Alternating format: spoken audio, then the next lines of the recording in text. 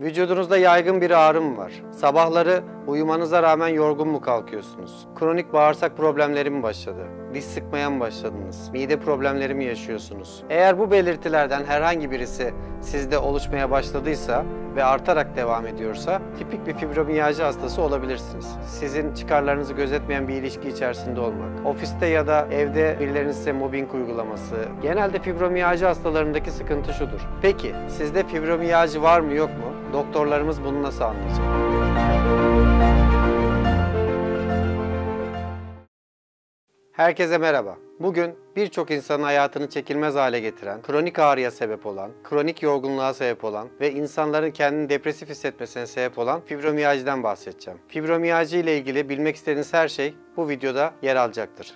Vücudunuzda yaygın bir ağrı mı var? Sabahları uyumanıza rağmen yorgun mu kalkıyorsunuz? Yoksa kendinizi son zamanlarda depresif hissetmeye mi başladınız? Ya da kronik bağırsak problemleri mi başladı? Diş sıkmaya mı başladınız? Mide problemleri mi yaşıyorsunuz? Belli belirsiz kulak çınlamaları mı başladı? Baş ağrılarınız arttı mı? Eğer bu belirtilerden herhangi birisi sizde oluşmaya başladıysa ve artarak devam ediyorsa tipik bir fibromiyalji hastası olabilirsiniz.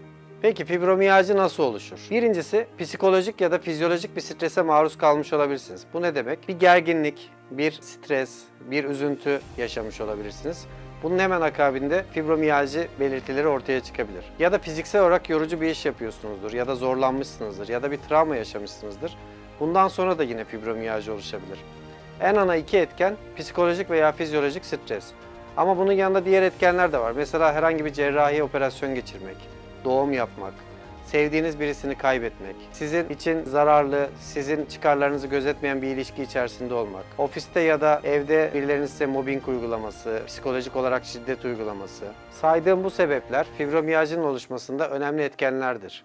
Bunların yanında viral bir enfeksiyon geçirenlerde de bazen sonrasında fibromiyalji geliştiğini görüyoruz. Öncelikle şunu belirtmek isterim. Fibromiyalji teşhisi kolay kolay koyulabilecek bir hastalık değildir. Daha doğrusu tanımı olan bir hastalık değildir. Herhangi bir kan tahliliyle, herhangi bir röntgenle belirlenemez. O yüzden en az 3 tane uzman doktora gitmeniz gerekiyor.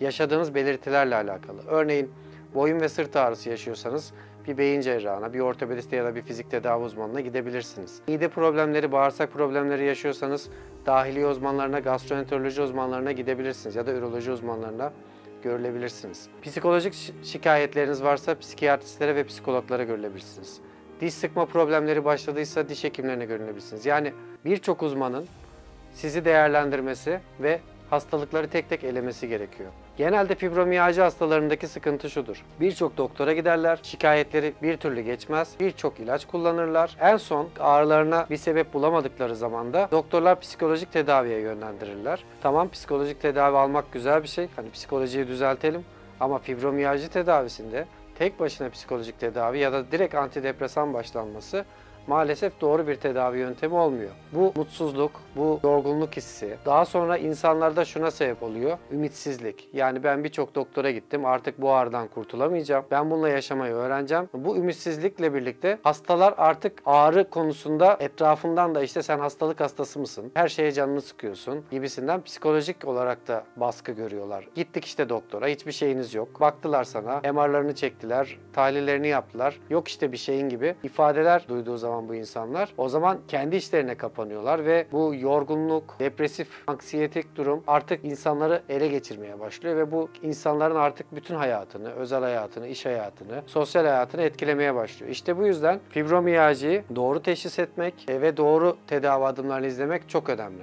Fibromiyajisi olan kişilerde bazı hormonal değişiklikler oluyor. Genelde fibromiyalji hastalığı olan kişilerin beyindeki hormonlarına baktıkları zaman nöroadrenalin, serotonin, dopamin gibi hormonların düşük seviyede olduğu tespit edilmiştir. Hepiniz de biliyorsunuz serotonin mutluluk hormonudur ve insanlar mutlu olduğunda ve özellikle egzersiz yaptığında vücutta artan bir hormondur. Özellikle fibromiyajinin oluşmasındaki en büyük sebeplerden biri psikolojik faktörler ve hareketsizlik. Bunlar birleştiğinde serotonin hormonunun azalmasına sebep oluyor. Yapılan araştırmalar sonucunda bu da bir etken olarak doktorlar tarafından hipotez olarak ortaya atılıyor. Bu saydığım hormonlar eğer düşük olursa modunuz düşüyor, uyku problemleri başlıyor, iştahsızlık başlıyor, kendinizi yorgun hissediyorsunuz ve mutsuz hissediyorsunuz. Şimdi fibromiyajide görülen tüm hayatınızı etkileyen uyku sorunlarından bahsetmek istiyorum. Fibromiyalji sizin derin bir uykuya dalmanıza engel olabilir ve aşırı yorgunluğa sebep olur. İnsanlar iyi uyuyamadıkları zaman hali hazırda olan ağrıları da artacaktır. Uykusuzlukla birlikte ağrı artışı da başlayacaktır ve bu bir çığ gibi yavaş yavaş bütün vücudu kaplayan asla çözüm bulamadığınız ağrılar başlayacak.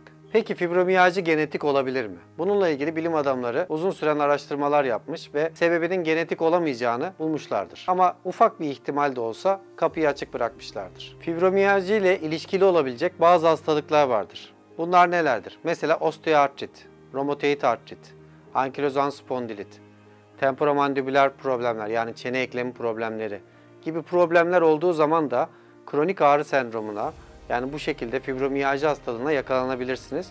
Bunlar da yine fibromiyalji ile ilişkili hastalıklardır.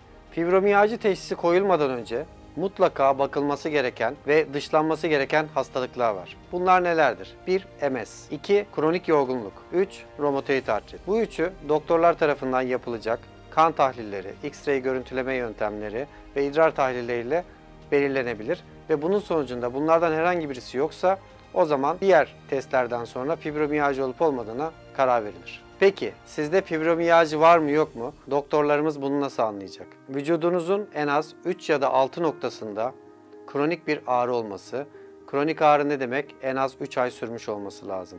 Yani sizin 3 aydan fazla süren vücudunuzun 3 ya da 6 noktasında, bu daha fazla da olabilir, ağrılar oluşuyorsa o zaman fibromiyalji dediğimiz hastalığa yakalanmış olabilirsiniz.